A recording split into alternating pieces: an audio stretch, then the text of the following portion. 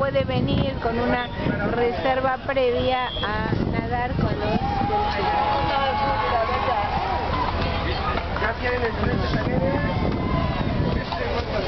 Están aquí abajo, no es fácil de ver. Ahora después voy a tomar algunas fotos.